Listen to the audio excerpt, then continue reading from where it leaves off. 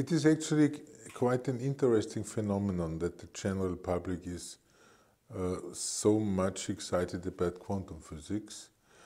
Uh, this comes, I think, from the fact that quantum physics uh, tells us that some of our everyday way how to look at the world are wrong. What is wrong is the assumption that, for example, every object has to be at a definite place at any time. This is not true anymore. Some people say that a particle can be at two places at the same time, which again is not good language. Uh, the good language is that there are situations where it is completely undefined where the particle is, and it's not even us who do not know, but the particle itself also does not know, so to speak. So this is an objective uh, non-existence of a feature of reality. And that is new in, in quantum physics. That does not, not exist in what we call classical physics, the physics before quantum physics. It is also not true in relativity theory, by the way. There we also have a well-defined space, well-defined time, well-defined locations, and this kind of, of objects. This is one thing. The second point is that we, in our everyday view of the world, or in classical uh, thinking, we always believe that for whatever happens, there is a cause. There's an individual cause for individual events. Like when a stone hits me on the head, I know somebody has thrown it at me or something like that. Now, in quantum physics, we have learned that this uh, causal structure, as we call it, uh, exists on the level of large ensembles, but not always in the case of individual events. Like for a radioactive atom, it is defined how many atoms will decay within, say, the next minutes, but it is absolutely undefined and there is no causal explanation why a specific atom decays now. So this is another interesting uh, uh, message from quantum mechanics: is the limit of of of uh, uh of caus causality in very specific situations. But I should say that many public presentations or discussions make the mistake that they abandon these ideas in general. This is not true. One has to be very cautious when when this happens. The third point, which is which I would like to convey, is that we can have a situation where two uh, systems separated by a large distance are connected in a in a very new way. This is called uh, entanglement, intrication in in French. It simply means that if I have two particles which collide, interact with each other, and they fly apart. If you just imagine like billiard balls, two billiard balls fly opposite. Uh, two quantum billiard balls which also fly opposite, but it would be undefined in which direction they fly. They fly in all these directions at the same time. But when I make one measurement, I observe uh, this uh, particle, for example, here, and then the other one at that moment uh, changes its state from being uh, possibly everywhere, only being at this place. And it is wrong to assume that I just reveal uh, where they were before, and I did not just know it. No, the particles themselves also did not know. There was no well-defined feature. So to me, these are the general uh, uh, properties of quantum mechanics. Uh, in, in a more technical language, this is related to superposition, to the to the to the fact superposition means that the various possibilities are superposed in, in a in a new kind of way this description which we call the, the quantum state superposition of the quantum state is, is the general feature in that uh, situation And I should also mention that uh, in my personal conviction, uh, these phenomena are not limited to small systems. So far they are, but this, in my eyes, is, is a technical issue, and I hope that future bright young people will have the possibility to observe such phenomena also for very big ob objects. But when we talk about what can be taught at schools, I always tell my my uh, colleagues who work in schools because I teach for them also the most important message which everybody should take home also those who will not become scientists is an understanding how big the big or how good is an understanding how good the description of nature already is. How precise we can calculate things. It is not just a way of talking about nature. Like uh, when you step into an airplane, you trust on the Bernoulli law within less than 1% of validity. It is really fantastic how precise uh, all this is and is uh, applied. Or when you turn on your iPhone, you you use a lot of, of technology, but to an unbelievable precision. Some of the devices work only because a certain atom has this kind of features, and another atom has another kind of features. Particularly, for example, rare earth atoms. They have been used in some modern technology. So this is the most important message, that science provides a, a mathematical understanding of the world. And in that sense, I believe that quantum physics should also be taught. Uh, quantum physics certainly cannot be taught using all the uh, formalism and all the equations, but it can be taught in the school on a phenomenological level. You just tell tell them, you know, here are radioactive atoms, they could decay, decay or not, or, or all these kind of things. And I have been giving lectures to, to uh, children even, you know, six, seven years, years old, and they understand the concepts if you tell them the right way. It was quite fascinating, and the questions are, are really challenging. They're very good challenge. Uh, they're very good ideas. Uh, uh, I think this is important because because it could very well be. I, actually, I personally find it unlikely that there would not be a deeper theory as the next step history has always progressed in steps. And if there is a deeper theory as a next step, then we probably have to change some of our fundamental ways of looking at things. And that has to start early. So children should learn very early what the fact is. Well, quantum mechanics provides a fantastically precise uh, description of many phenomena. Uh, like, for example, the laser is described by quantum mechanics. Uh, all of chemistry is uh, described by uh, the Schrödinger equation, which is an equation of quantum mechanics, and so on. It's fantastically precise. The issue is the interpretation. The issue is what does it mean for our view of the world. And uh, we see a very interesting phenomenon, namely that there are different schools of interpretation where everyone is convinced that his or her interpretation is the correct one. He thinks that the other ones are completely wrong, and there are even sometimes emotional fights. Now, what does that mean? It means probably that we have not uh, found the final way to look at it yet.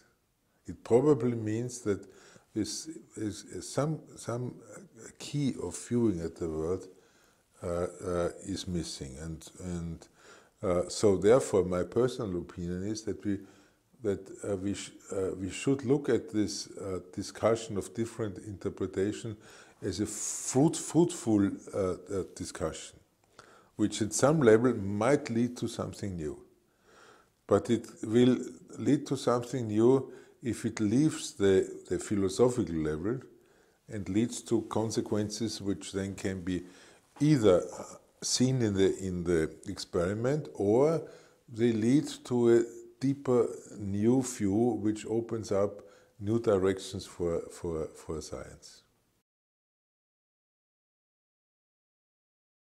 Uh, we have seen a very interesting phenomenon in the last 20 years.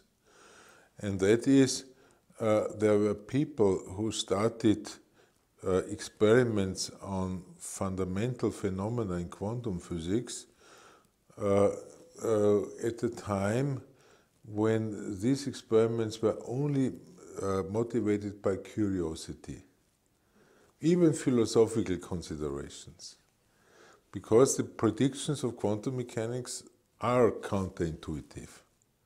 They are mathematically precise but counterintuitive. So these experiments were started, they confirmed quantum mechanics, so you could say, why did we do these experiments? Well, there was interesting consequences because they suddenly opened up the mind of people to the question, what could we do with it? And there's a big difference between knowing something from the book or having it realized in the laboratory in real experiments. And this having things, I, I saw that myself, like, like, like uh, you know, when we did, when we did the, the uh, experiments on two-slit diffraction of neutrons 30 years ago, this kind of experiment, uh, it was clear what came out. But after talks, even famous physicists came and said, it really works that way? Isn't that interesting? And that opens up the mind of people for the next step and for the next step after the next step and so on. So we are at the, at the level now where we have coming out of these fundamental experiments, where we have development of many new techniques, which uh, I'm really convinced which leads to a new technology, uh, quantum information technology, new computers. I'm, I, am i am convinced that we will have this because there's no fundamental reason which tells us that this is not uh, possible. Uh, it is a big challenge, but that's a different story, but it will be done. On the other hand, it also has sharpened our intuition of what is really interesting in quantum mechanics and what are really the foundations. And there is a new school now, uh, young people in theory who work on, on what is called the reconstruction of quantum mechanics, uh, from which are the basic principles from which we can derive this modern theory. And there is real progress. So there's really hope that we, we can put quantum physics now on a more solid conceptual level which I am convinced will open us again up for going further. If we look at the status of science today, it is one of the most successful things which mankind ever did. It's fantastic. It's completely changed our lives. It cha in an immediate way, like many of us would not be alive anymore without without the progress of science in medicine and so on and so on. So this is quite clear. The question is, where do we stand? And I, pers I personally be believe that most of the future is ahead of us. If you just consider the history, modern science starts with Galilei or with uh, with uh, uh, Newton, people like that. So it's not more than 300 to 400 years old, which is nothing on the scale of the history of humanity. So I find it very unlikely that we have found most of it. So uh, if somebody, for example, believes, it happens, some people believe that uh, we uh, we are close to a theory of everything, then my reaction is probably we should have more fantasy, you know, for, for many possibilities. And if you ask about open questions, there are many open questions. Like a, a famous example is is the unification of the two you know, best theories which we have in terms of also conceptually deep, and that is general relativity theory and quantum mechanics. And these still stand separately. Uh, uh, why is this an issue? Because there are actually some conflicts between the two theories. Like uh, relativity theory, we have space and time well defined, but in quantum mechanics, we learn that the sources of space, space uh, masses can be in a superposition of being at different places, which means that space cannot be well defined at some level. And uh, the fact that some of the brightest minds in physics have been working on this issue for 80 years now at least, and have not found a solution means that the solution will be extremely deep. It will be extremely significant if somebody finds it, and it will probably in a direction where nobody expects, expects it. That has happened before in science. So this is one of the inter, uh, interesting challenges, and I think that that basically, like like Einstein, Einstein was not known when he did his things.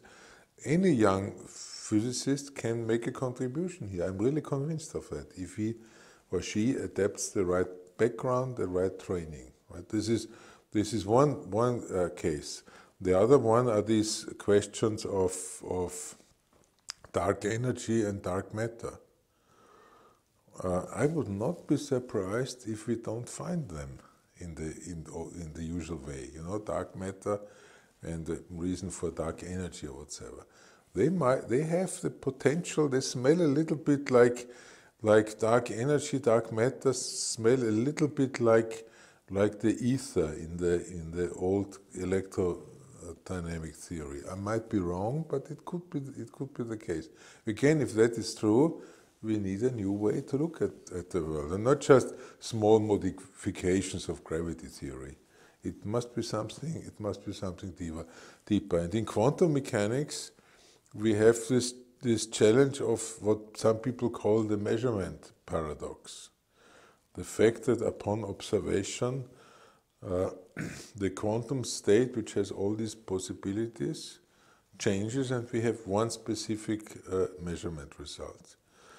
Uh, I belong to those people who think that this is outside uh, physics, it cannot be described in physics, because uh, physics is a, is a theory which has a, has a uh, unitary time evolution.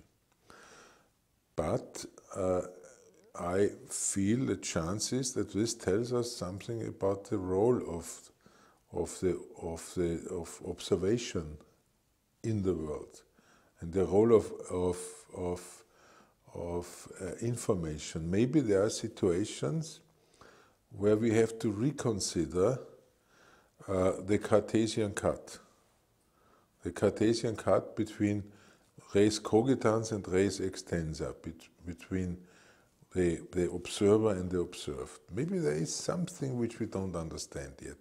Uh, I, but I would like to add a point which is very important for me.